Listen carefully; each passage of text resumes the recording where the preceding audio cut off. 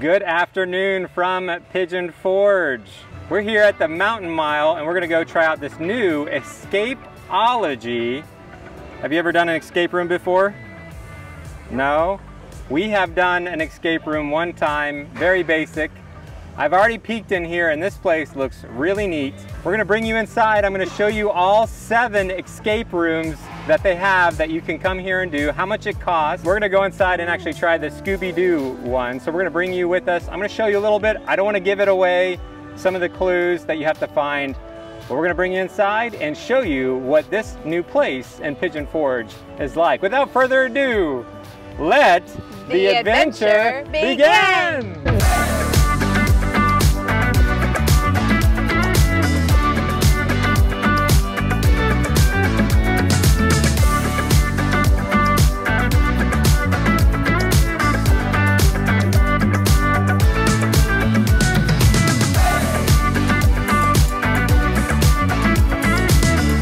find these big, tall, white towers of the Mountain Monster in downtown Flavortown, it's going to be in the same Mountain Mile shopping plaza. Over here to the corner, we're going to go check out Escapology. As you walk in, there are lots of seats for you to sit, and whether it's a hot day, cool off, or if it's a cold day, warm up in here and have an inside activity. We're going to walk you through each of the seven current escape rooms. They're going to eventually have nine, but they're starting out with seven. You got a little photo opportunity over here once you complete your escape room with your team. And uh, you can come over here and get checked in. You can make a reservation online. They would recommend that. That way you can make sure you get the room you want at the time you want. But you could always just walk up here and see what's available. Prices start out at $45 per person, but I do have a discount code that I'll include at the end of the video and down in the description. They do have a Star Trek license, so they have a Star Trek escape room. We're going to show you that here in a little bit, as well as a license with Scooby-Doo. So they have the actual voice actors in their escape room. You can see the game difficulty. Star Trek is going to be the easiest, then Scooby-Doo. They got a Lost City, Who Stole Mona, which looked really cool. Seven Deadly Sins, Mansion Murder, and Orient Express is their most difficult room. So let's head on down the hallway and check out each of the seven rooms, and then we're gonna try out a room and we'll tell you what we think. Really cool theming in this place as we head over to one of the first rooms. The first options you have is the Mansion Murder. It's a 9 out of 10, the second most difficult. I love the little fireplace in this room. Very well themed. They have this old classic piano that I'm sure comes into play to advance you to the next room, which is kind of this old library area and uh, a number of different puzzles and books you have to figure out and hopefully advance to the last room, which is really dark but they have this little light bulb area in the back that you have to solve and figure out to escape. So we're gonna cross the hallway here and go over to the next one, which is the seven deadly sins. This is an 8.5 out of 10 in difficulty. You can see the TV up here counting down your one hour of time and you've got this little chapel church area with this stained glass up here and uh, kind of almost a pew-like setting behind you that you have to solve some things then advance to this little more creepy room in the back with some skulls and uh, some kind of box and a casket. The next escape room we're going to check out is the Lost City. This is a 7.5 out of 10, so not the easiest, yet not the hardest. Kind of a Mayan decorated room. Kind of gave me Indiana Jones vibes, so if you can advance to this next room, you've got a couple different puzzles you need to figure out in here, and you've got a skeleton guy waiting for you. And I loved the water feature in this room, as you also have some old Mayan type Aztec language that you have to decipher and figure out in this room.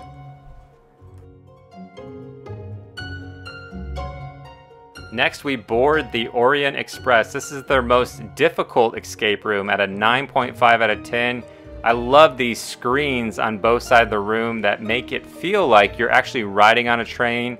They told me that once the actual escape game begins, it has sound effects and lighting to make you feel like you're actually on a train. So this looked like a lot of fun. You have the TV up here showing you time and your clues if you need it. You're able to hopefully advance to the next room where you got this kind of bunk room with some old classic posters on the wall. And over here you can go through all your luggage in this compartment of the train as well as a little mirror and then you've got this back section of the train where you have to solve some more things to hopefully escape.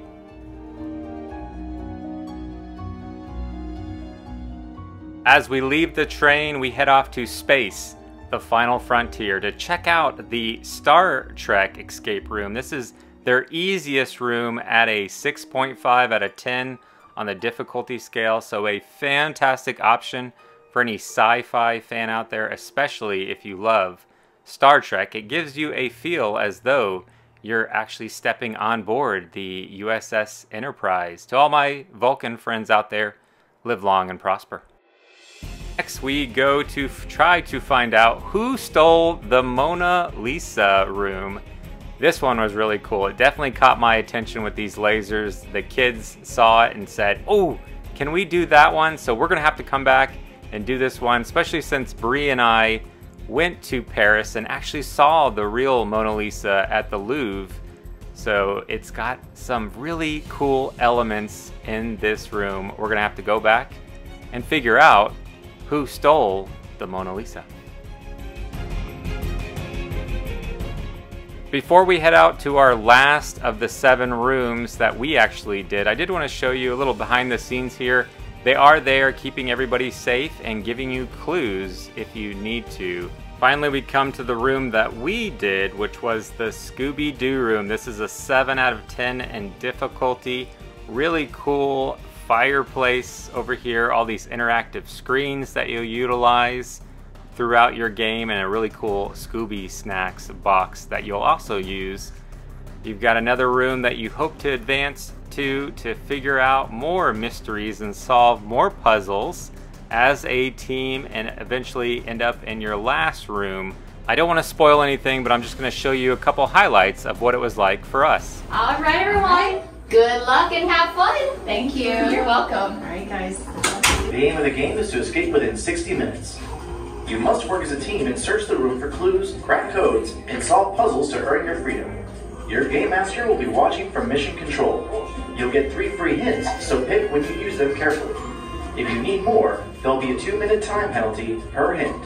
For example, if you escape in 58 minutes and use five hints, your actual time will be one hour and two minutes, as three of the hints will be free, and the next two will cost you two minutes each. If you escape quickly enough, we'll post your time in our online Hall of Fame. To maximize your experience, don't try to guess the codes. Nothing in the room requires force.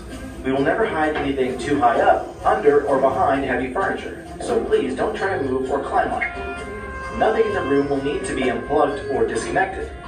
Please don't touch anything that has a red sticker on it. It's not part of the game. Everything else is part of the game. But remember, some things might just be there for decoration. Hey gang, Mystery Inc. here. Crystal Cove has been suffering from supernatural attacks led by a monster known as the Mystery Ghost. Ghost? It seems our villain is hiding secrets within this spooky castle. Not here. This is the Bar- Baron's. I think we just opened a whole new area. We need flashlights. Oh, Bring that, there's. bring that, and Wait, take that off and then Yeah, you can see the. Oh, the. Uh, Oh, these things. wait. Oh. Okay, Yeah, it literally says don't open the secret doors. Ready? Uh-huh. Scooby. Oh gosh. All right, put the Scooby snack in. Nothing happened. Nothing happened yet. We have 37 minutes left. Room two is dining room. Dining room. Room two is dining room. All So right. it's happening. Yeah. Oh. Okay.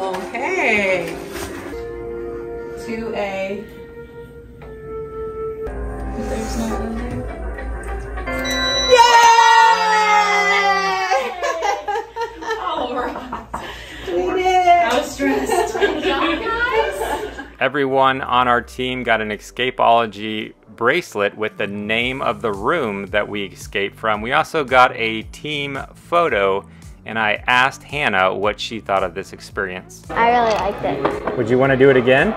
Yes. But maybe the Mona Lisa one. The Mona Lisa room did look really cool, so maybe we can come back and try that one another day? Mm-hmm. So, Micah, what'd you think? It was fun. Have you ever done an escape room? No. Did you like it? Yes. Would you do it again? Yes. Which one would you want to do next? The Mona Lisa. The Mona Lisa with all the lasers? All right, we'll have to come back and try that out. So we just completed the Scooby Doo room. It was amazing. We had a great time. It was a lot of fun. We got to do the room with Josie, which was awesome because we've been wanting to meet her for a long time. Go check out her TikTok channel, Explore Pigeon Forge, and we'll put a link in the description below. But what did you think? Scooby Doo was one of my childhood favorite movies. It was so cool to be immersed into that environment. The actors were actually the ones who were doing the voiceovers, and I had a blast. It was a great time. And we escaped. That is the most important. the most important thing. Thank you for joining us on this adventure. And we'll see you on the next adventure. is that it? Sure. Y'all need a catchphrase. That wraps up our look at Escapology in Pigeon Forge, Tennessee. I'll put a special discount code in the comments of this video that you can use. Let us know if you have any questions in the comment section. Thanks so much for watching, guys. Feel free to hit that subscribe button for more adventures here in the Great Smoky Mountains and beyond. We'll see you on the next video.